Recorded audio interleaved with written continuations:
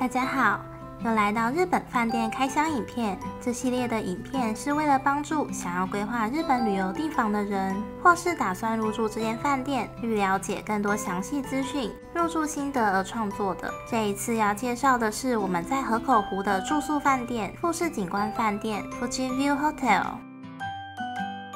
这一间是属于香根百年饭店富士屋在河口湖建立的旗下饭店。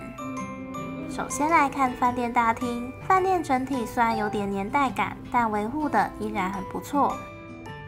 最重要的是，这间饭店的服务人员的态度都非常的有礼貌，给人宾至如归的感受。因为入住时间是三月，所以大厅摆出了豪华的女儿节娃娃。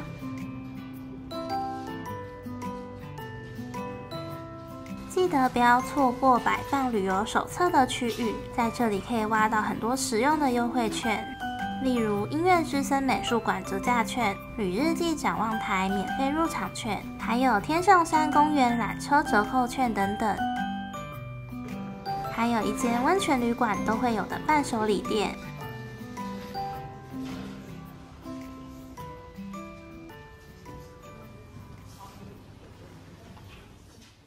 接着我们来开箱房间吧。这里是用传统的钥匙开锁。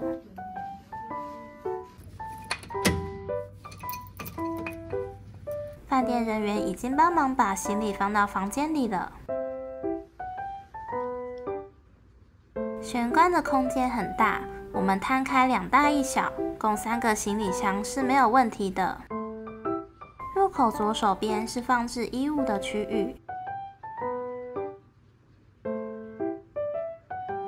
架、衣物喷雾、鞋类用品、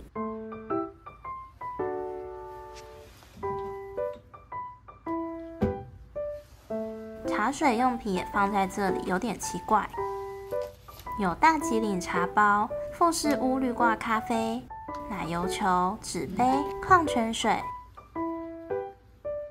冰桶、茶具组。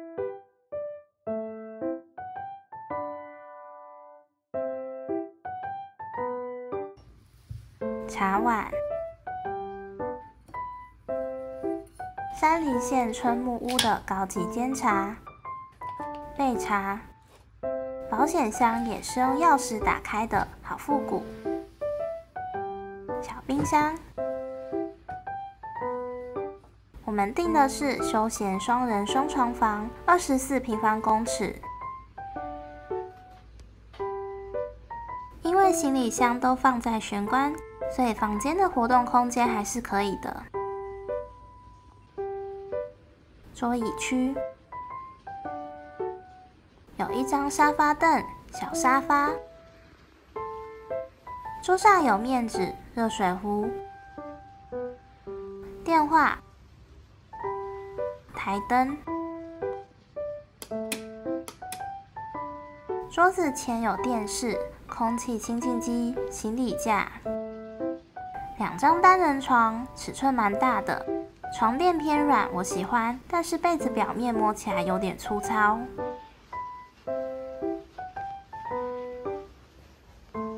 浴衣甚至附赠了全新的足袋。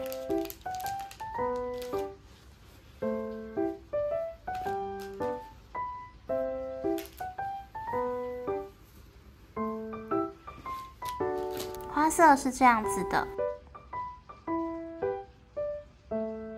床头有电灯开关、插座和闹钟。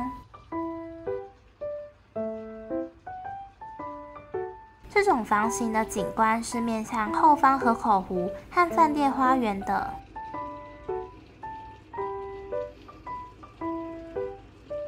不过这一天外面正在下雨，看不太清楚景色。隔天早上天气变得很好。早晨的日出光线非常的漂亮，树林后是湛蓝的河口湖。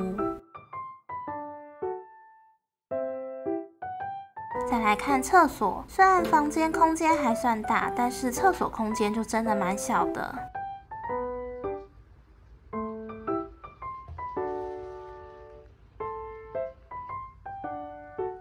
免治马桶。全新未拆封的毛巾，Panasonic 的吹风机。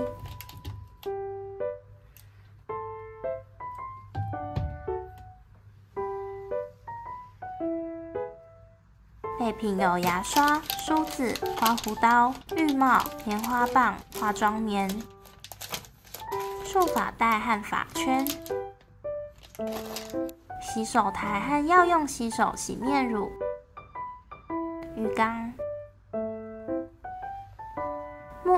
洗发精、润发乳。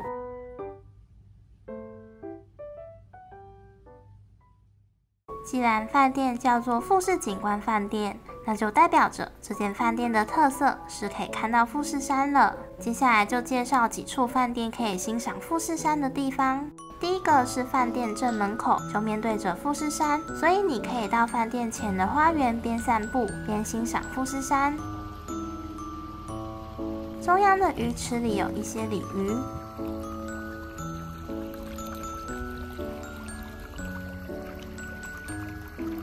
怕冷的话，大厅有沙发椅和桌子，可以坐着欣赏富士山。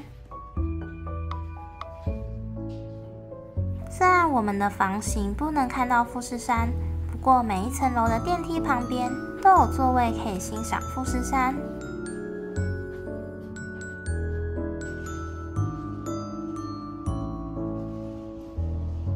口气看到河口湖和富士山景色的话，搭电梯到五楼出来后，往旁边的楼梯走上去，有两间富士山展望室。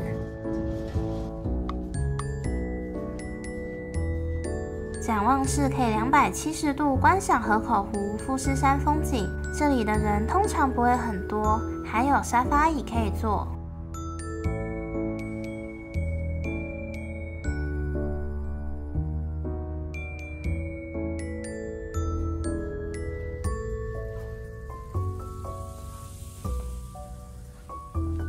富士山又大又清楚，河口湖也很漂亮，安安静静的欣赏着富士山，感觉心灵好平静。另一侧的展望台是这种桌子和铁椅的，感觉很适合在这里看书办公。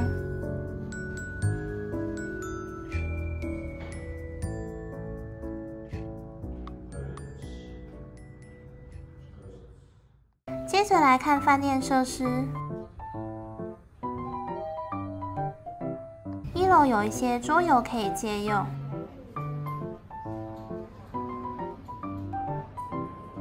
还有葡萄酒自动贩卖机。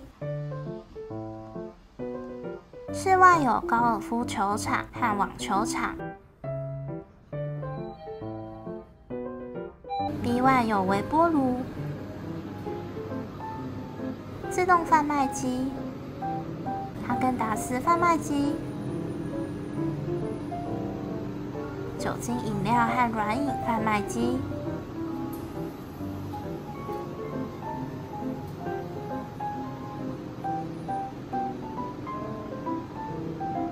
付费按摩椅、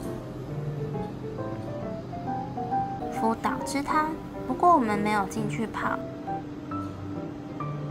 场禁止拍摄，图片取自官网。这里还有一间 SPA 店，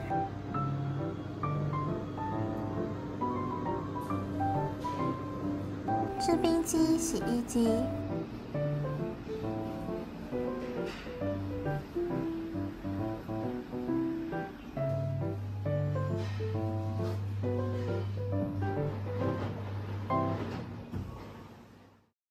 介绍饭店交通的部分，可以看到饭店距离河口湖车站是比较远的，附近几乎都是民宅，距离最近的便利商店要走路十分钟。虽然的确有些不便，但是饭店有提供免费的接驳车往返河口湖车站。接驳车一小时一班车，最新时刻表请至官网查询。从河口湖出发不用预约，但是搭乘从饭店到河口湖站的上午班次需要事先在柜台登记。接驳车程大约十分钟，建议前往饭店时最好避开十四点四十五那一班次，不然就是要提早去等，因为很容易大客满。若上不了车，就要再等下一班。河口湖站接驳车上下车地点在十号站台，这一站台是所有饭店接驳车专门停靠的地点。